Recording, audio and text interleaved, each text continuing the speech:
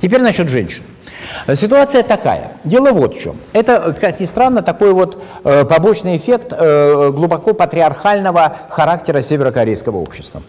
Э, дело в том, что в отличие от большинства социалистических стран, Северная Корея не проводила линию на вовлечение женщин в общественное производство в больших масштабах. То есть что-то такое было, но достаточно такое ограниченное.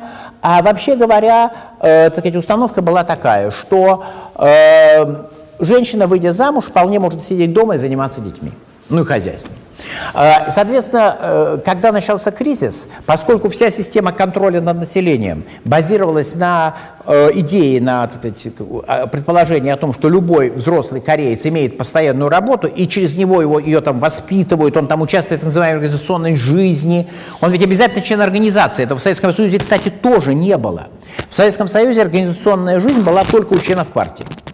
А в Северной Корее это и у членов, то есть все там, любой человек, он является членом какой-то организации. Это имеется в виду не трудовой коллектив, а организация внутри трудового коллектива. Партийная, профсоюзная, комсомольская. Даже э, женщины, тоже у них там был свой женский союз, это вот для домохозяек. Их там, значит, там три раза в неделю партработа, там собрание подведения итогов жизни раз в неделю, обычно, может, чуть реже для некоторых групп, чуть чаще для других.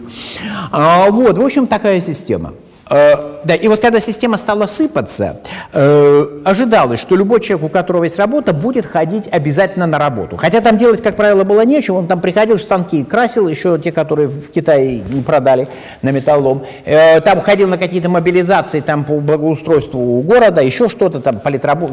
лекции слушал о страданиях южнокорейского народа и, прочем. Но хотя бы несколько часов нужно было каждый день появляться, иначе могли быть проблемы. А женщина все просто, она, у нее время было. Она регистри... выходила замуж, а люб... Э, брак практически, вот социальная схема такая, что брак обязателен. То есть не выход замуж или не, э, сказать, не женитьба – это ну, что-то совершенно немыслимое. Э, и, э, ну, опять-таки, патриархальная модель.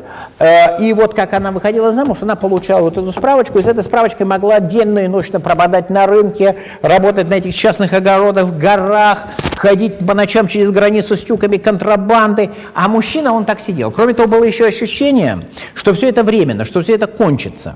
И э, семья задавала вопрос, когда все это кончится, если обнаружится, что вот ты, мужик, отклонялся от правильной линии, ну, могут быть какие-то проблемы. А так ты ходишь на работу, все правильно. А что там твоя баба делает, это кого тебя не особо не интересует. Вот. И э, в результате получилось, что вся сред... весь средний и мелкий бизнес оказался женским. Э, проблема только в крупном бизнесе, где очень большую роль играют связи с э, существующим бюрократическим аппаратом, но это, конечно, уже игры э, серьезных мужских парней постоянное ощущение, что они едут на «Тигре». То есть были основания. Ким Чен Ир э, имел свои резоны, когда он решил не проводить реформ и не, трог, не будить лихо. Но у его сына нет выбора. Ему приходится будить лихо, рассчитывая, что это лихо он как-то будет держать под контролем.